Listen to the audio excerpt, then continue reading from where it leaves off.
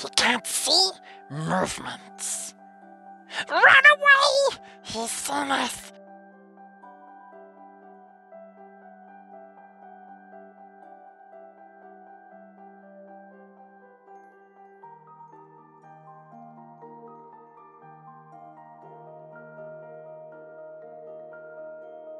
Welcome Reaper fans! Today we have Thunderfoot. This is the new Reaper Bones Black miniature and it's from the Dinosaur collection.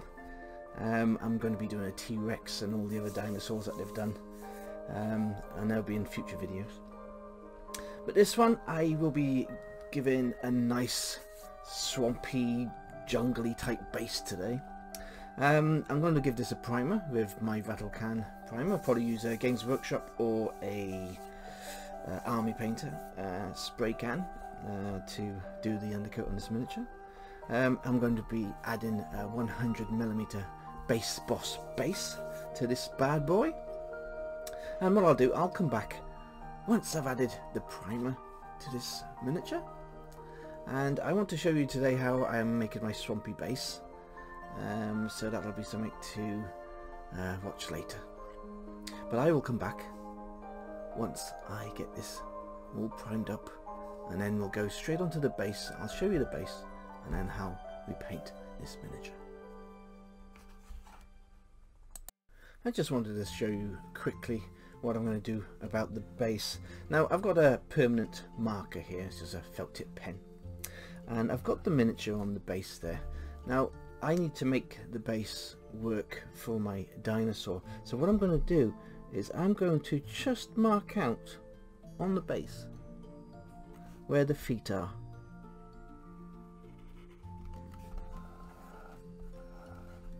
And this way I will know I cannot go over these lines. I just pulled his head off. okay, so I'm going and add them up. There we go, all together. So there we are. We've got our little, looks like a little smiley face. Or, or could be an evil face. but um, this is where my dinosaur goes on the base. And the reason why I do this is now I know I can build up all the rest of the area with clay and do my swampy effect and when I go to stick the miniature on it'll go nicely in the area which I haven't added any material so we just want to make sure that we keep that clear and then we can stick the miniature onto the base at a later date. Okay so for the base I got some air drying clay and I am going to take a little chunk of the air drying clay. Don't need a lot. I just use the air drying clay to build, bulk out, make little rocks and little bits and bobs. Make sure you always put the lid or wrap your air drying clay after you've used it because it will harden and we don't want that. Now I am going to place my clay all around the areas that I want on my base. Now I don't want it too high because the dinosaur will rub against it and we don't want that. So what we're doing is just placing little chunks around the miniature base.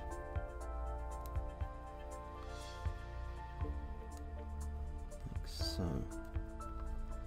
Now my idea is to have a water effect going around the base. So my idea is to stick thin layer of clay going around different parts of the base and the dinosaur plodding through the base that's all swampy and full of water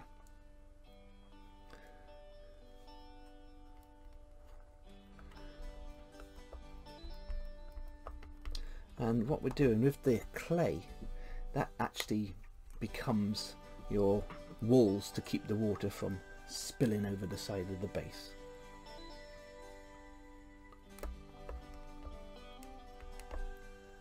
So what we're doing is we're using the clay as a barrier along the edge of the base.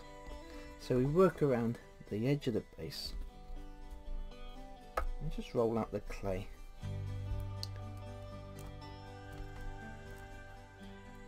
Now remember the clay once dry will come away from the base so all you do then is you stick it back on with PVA glue and the PVA glue actually um, will seal the base.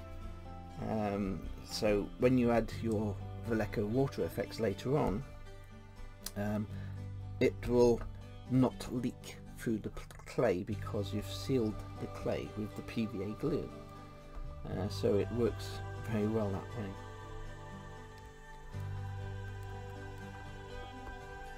Now, there we are. What I'm going to do now is just add a little bit there. And I use my little finger and, and dip it in some water. We're just going around all the clay areas just to flatten it out. It's super simple. You don't have to be um, you don't have to be a super sculptor to do this. This is just a fantastic quick and easy way to make an awesome looking base. Want a little bit of clay there. Because what I'll do as well, once this is all dry, we will paint it and we'll seal it. And then we'll add the water effects. And then we'll add, add little bushes and all sorts of little things like that. And it just makes it look so cool and swampy. You know just like the dinosaurs are trundling through the swamps to get to their food. So yeah it's uh, it's a very exciting base to do and I love working with air dry clay anyway so as you can see that's roughly all you need to do you're sealing around the edges just so you can fill this up with water later once you put the miniature in you and you've painted all the base um, and I'll show you how to paint the base to make it look like deep water and then you just add your miniature and it looks like it's plodded through the water. So I'll come back once this is dry, which takes about a day. Um, so I will come back once it's dry and we'll go to the next stage. Ah, so it's been about 48 hours and my base is now dry, the air drying clay. I've glued the clay back onto the base with some PVA glue and I've added some fine gravel and I've, I've also done the primer coat for my dinosaur in brown that I used um, Games Workshop uh, Rattle Can primer for this one and it uh, nice and dry works perfect so I've used him as a base and he'll be going in there like so so what I'm going to do now is I am going to prime this base and get it all painted and we'll come back once the base has had its primer coat. Okay, so my base has all been primed. So what I'm going to do now is add some depth so for the puddles. Not too much. So what I'm doing is I'm going straight into a matte black and I'm just adding it to the middle of the flat areas. I mean, we're not going to see much of this once the miniature is in the base. Uh, we've put the miniature in the base. Uh, so what we've done there, a bit of black, and then we're just going into some darker brown, and we're just kind of blending that in, like so. Just blending it around. There we go.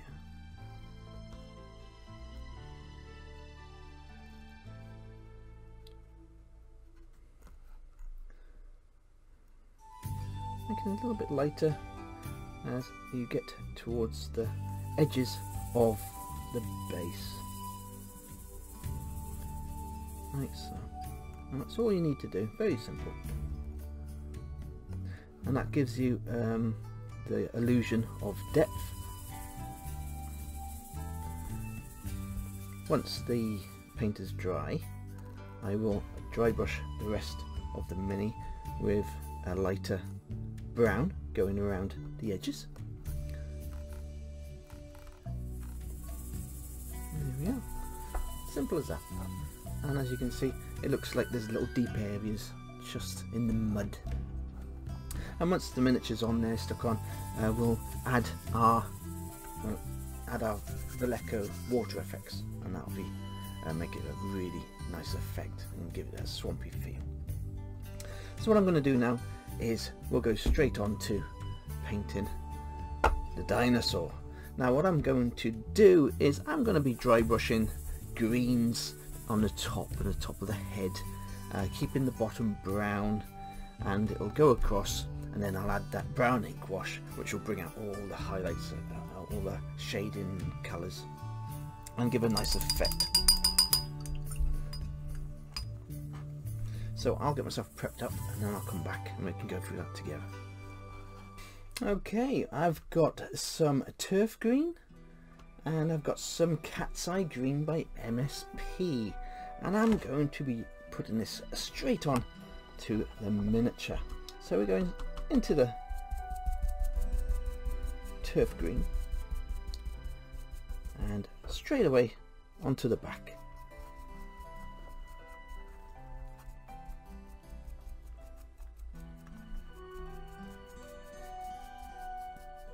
and about halfway down miniature. So we kept the we're still keeping the brown underneath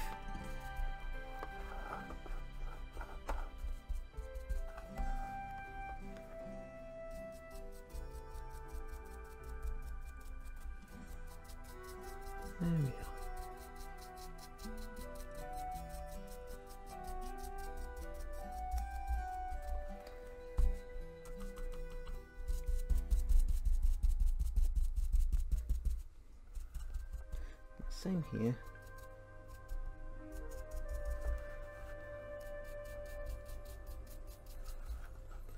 This on the front, we're not doing it as strong because we want that brown to come through.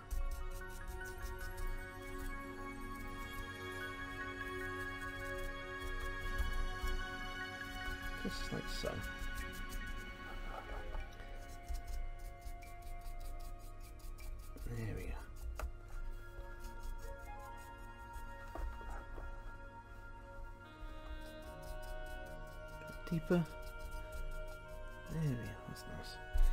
Going into the cat's eye, adding that into the mix.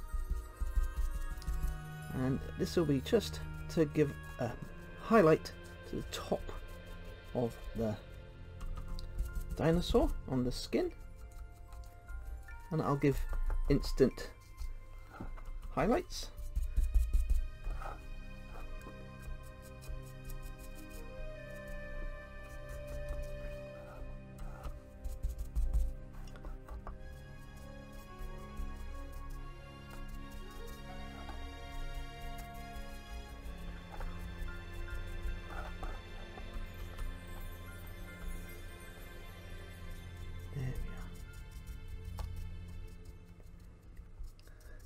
That's all I want to do so far for that. Now I'm going to wait for this to dry and then I'll come back and I'll show you what's next. Because what I want to do is add black lines going across the top which will be a very very dark green. And then we'll do that ink wash and then we'll do the highlights, pick out the details and that's a very simple miniature which will look good and it will be done. Okay, let's get back to the base. What I'm going to do now is I've got some gold skin from MSP and I've got a bit of uh, Lone Star leather from MSP. So I'm just going to highlight the different places on the base, um, mainly the tops of the rocks.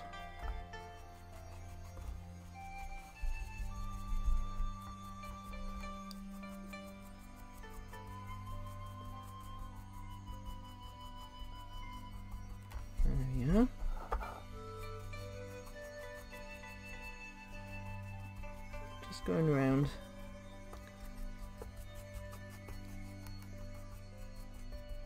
And now I'm going to add a little bit of the brown.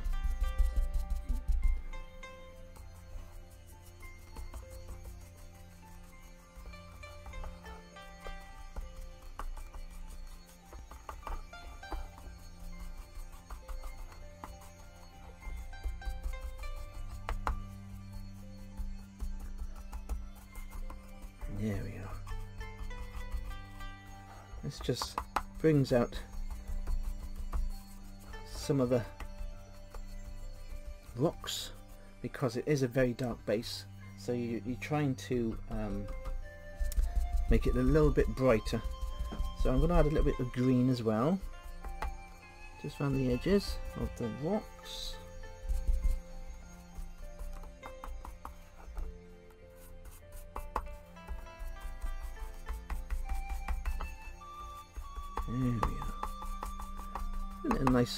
dirty swampy look to the base.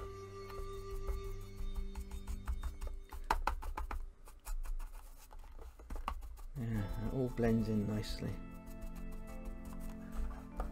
Just there we go, perfect.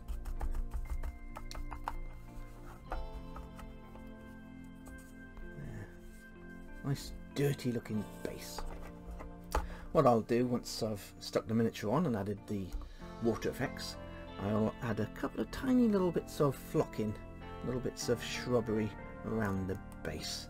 And that's all we'll need to do to that base. Um, going back to the dinosaur, I have painted all the horns in skeleton bone. And so what I'm doing now is I'm just waiting for these to dry. And then I'll come back and we'll do those nice little lines that I was telling you about. And then we'll do the ink wash and then we'll leave that to dry and then we'll come back. Okay so let's get our stripes done.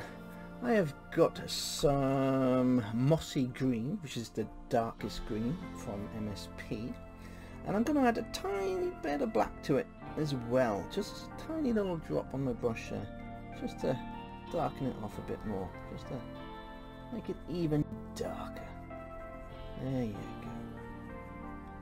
I'm using a old brush for my mixing. I don't like mixing paints with nice brushes.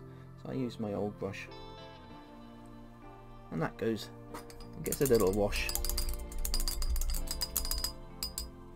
And goes back in the brush box. The brush of shame box. Where the brushes have been ruined by myself. So, what we do is we get our mini, we've got our nice colour, and we are just going and giving stripes down the miniature.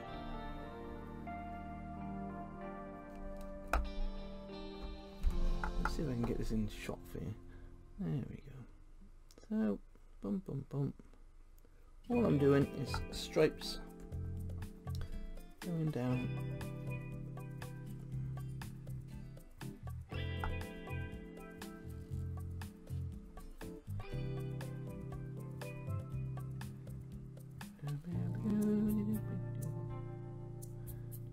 Beep.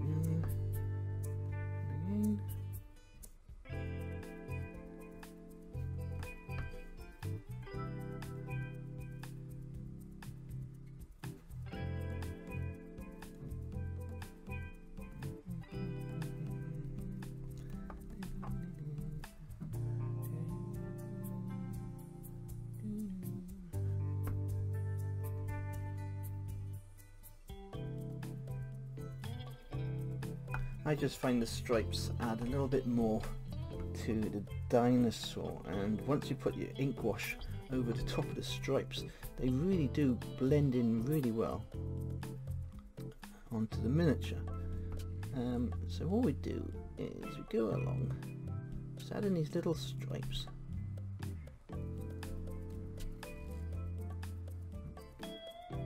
Simple as that just drifting off and finishing off on the tail.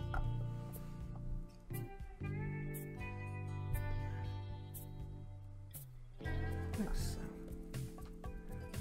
Trying to get them more even. There, that's. That's the boy.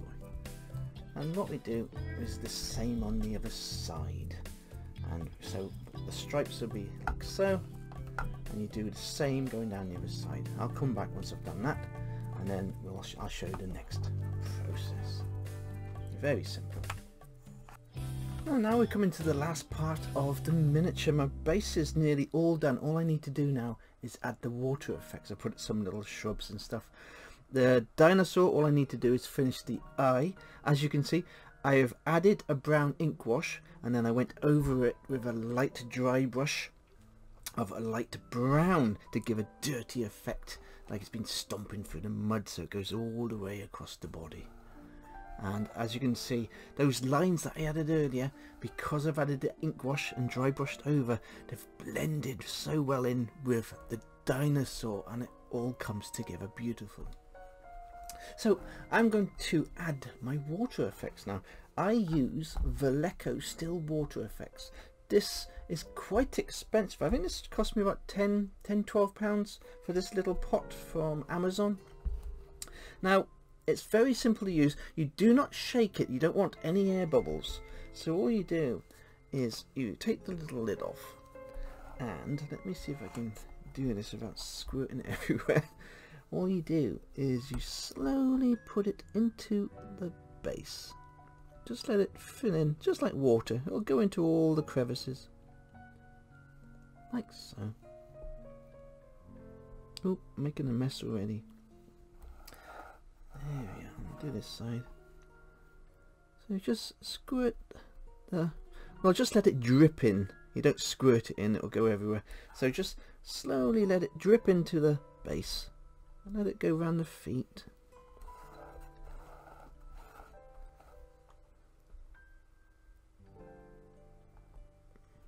If there is any bubbles, or you do what I just did there, and squirt the water over your rock, just get a tissue and take it off with a tissue. There we go. It's quite crazy because with this base I'm doing all the work on the base and you can't really see what I'm doing because the dinosaur is covering it but that is what makes it even more special it's that added extra that you add to the base makes the miniature and it makes it shows that you care about what you're doing so there we are. That's on there. And I can see some bubbles. See the bubbles there? All you need to do is get a little pin. A little pin. And just pop the bubbles of the bit. There you go. And they've gone. Now this can take a few days to dry. Um, so I'm afraid I won't be able to show you the finished miniature um, while it's dry because as you can see it's still cloudy but that cloud will turn into pure crystal clear a water effect. Uh, but to finish this video, I will do the eye and then I'll come back and show you how I got on. But this water effects, like I say, very simple and effective. You can use gloss varnish. I mean, that, is a cheaper cheaper alternative and it does work really well. A couple of coats of gloss varnish will give you quite the same effect. This is for doing a bit more deeper effect, so you've got a more rich, deeper look to the water. And once it's dry, it does look fantastic. Okay, next week's paint will be Wormgear. This will is a steampunk dragon, as I call it. I absolutely love steampunk, so next week expect lots of golds and brasses and metals, metallics, and a fantastic dragon. You're going to love this. This is a very nice dragon. I've painted this one before and it's really nice. Really, really, really nice. So this is next week's paint. Now, if you like what I'm doing, then please sub subscribe to the channel. If you want to support the channel, then please become a patron. All patrons are added to the end credits of all my videos, uh, just to say thank you. So, until next time.